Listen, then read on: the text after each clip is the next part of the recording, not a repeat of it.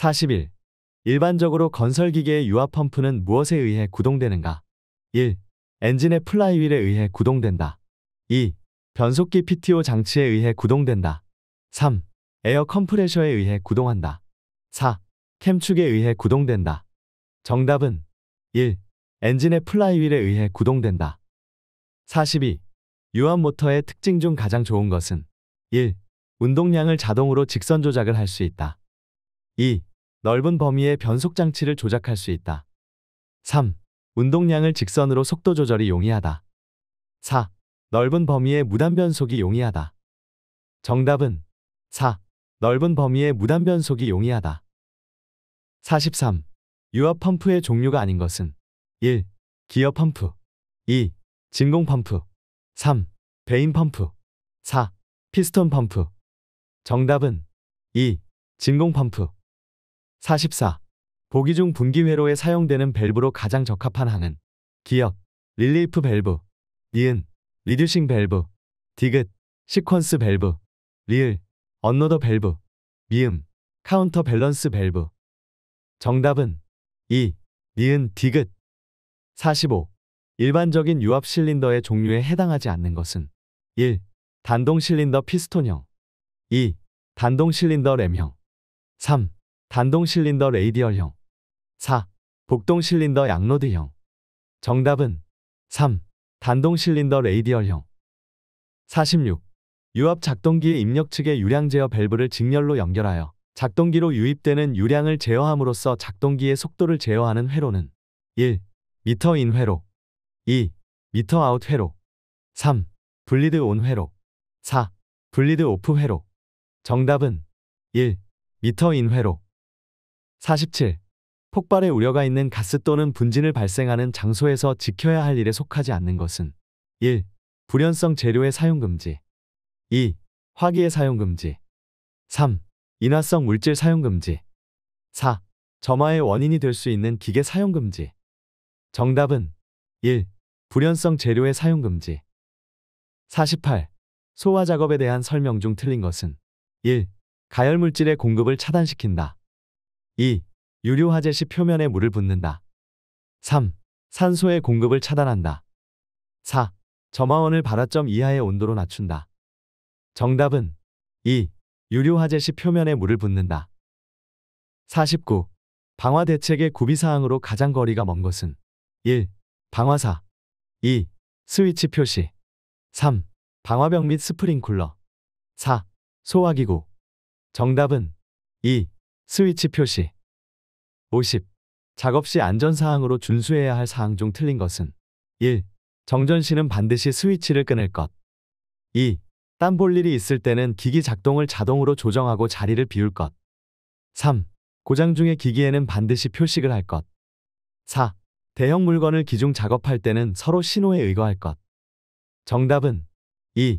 땀 볼 일이 있을 때는 기기 작동을 자동으로 조정하고 자리를 비울 것 51. 작업 효율을 위한 공구 관리의 요건으로 가장 거리가 먼 것은 1. 공구는 항상 최저 보유량만 확보할 것 2. 공구는 항상 완벽한 상태로 보관하며 파손 공구는 즉시 교환할 것 3. 공구의 필요 수량 확보할 것 4. 사용한 공구는 항상 깨끗이 하고 잘 정돈할 것 정답은 1. 공구는 항상 최저 보유량만 확보할 것 52. 다음 작업 중 보안경을 착용해야 할 작업은 1. 기관분해 조립 작업 2. 배전기 탈부착 작업 3. 그라인더를 사용하는 작업 4. 오일 펌프 정비 작업 정답은 3. 그라인더를 사용하는 작업 53. 인양 물체의 중심을 측정하여 인양하여야 한다. 다음 중 잘못된 것은 1. 와이어 로프나 매달기용 체인이 벗겨질 우려가 있으면 되도록 높이 인양한다. 2. 인양 물체를 서서히 올려 지상 약 30cm 지점에서 정지 확인한다. 3. 인양 물체의 중심이 높으면 물체가 기울 수 있다. 4. 형상이 복잡한 물체의 무게 중심을 목측한다. 정답은 1. 와이어로프나 매달기용 체인이 벗겨질 우려가 있으면 되도록 높이 인양한다. 54. 운반 과정에서의 주의사항 설명으로 잘못된 것은 1.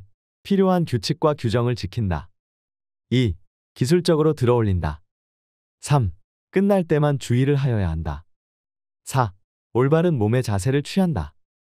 정답은 3. 끝날 때만 주의를 하여야 한다. 55.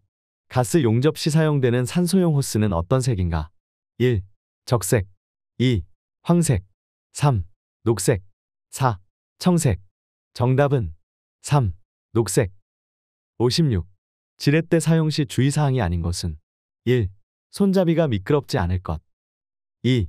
화물 중량과 크기에 적합한 것 3. 화물 접촉면을 미끄럽게 할 것 4. 둥글고 미끄러지기 쉬운 지렛대는 사용하지 말 것. 정답은 3. 화물 접촉면을 미끄럽게 할 것. 57. 도시가스 배관이 자주 손상되는 사고의 원인이 아닌 것은 1.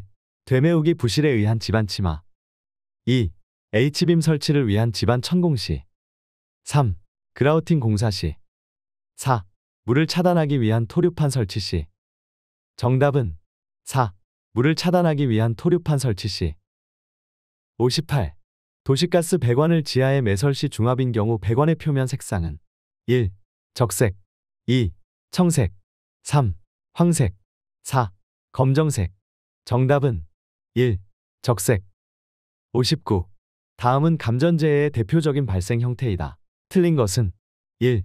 누전 상태의 전기기기의 인체가 접촉되는 경우 2.